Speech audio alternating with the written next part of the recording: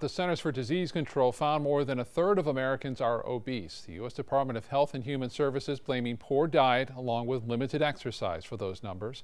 ABC 7's Erica Jackson shares the lifestyle changes you can make to build a healthier future you might be having trouble losing inches off your waist because your weight loss goals are unrealistic.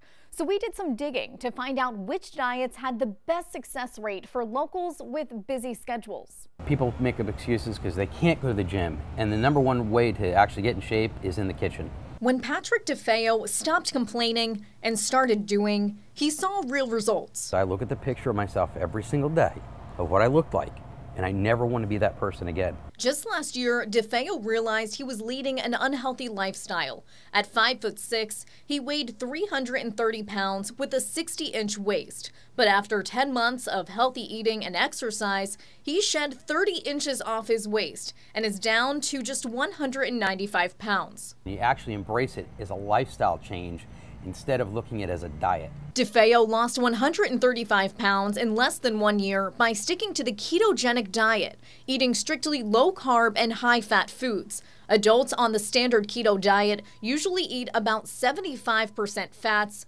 20% protein, and 5% carbs. There is a risk of your cholesterol going up, along with kidney stones and some other potential complications from that diet. Sarasota Memorial Hospital dietitian Emily Herron says the ketogenic diet isn't her first choice for patients, although it can mean quick weight loss. There's no one size fits all diet um, that we can recommend for anyone. Instead, she says patients will see better results with a basic plant based diet, eating mainly fruits, vegetables, beans, and nuts which is best for overall health. It's very good for kind of your cholesterol labs and your overall heart health to do these low saturated fat diets. But Herron says the best diet for your body is one you can stick to and recommends starting a diet plan that fits with your workout and your schedule.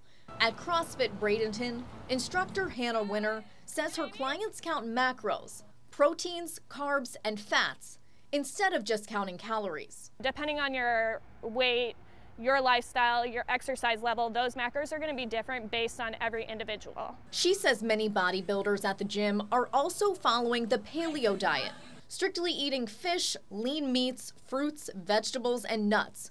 Food that could have been easily obtained during the Paleolithic era thousands of years ago. It's pretty anti inflammatory, which is nice because those carbohydrates and the dairy are inflammatory in your body. So that works really well for some people. You always have to think about it's not only the diet, but it's exercise, stress management, good sleep. There's a whole lot more than just the diet to losing weight. Some dieters are also focusing on when they eat rather than what goes in their body.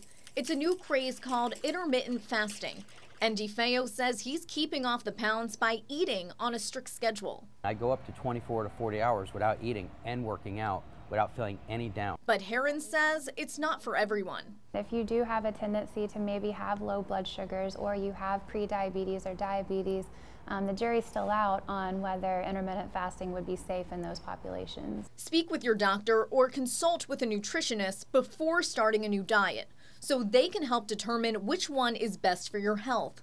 DeFeo says he still has a long road on his path to success and vows to stay positive, keeping an open mind while celebrating the small victories.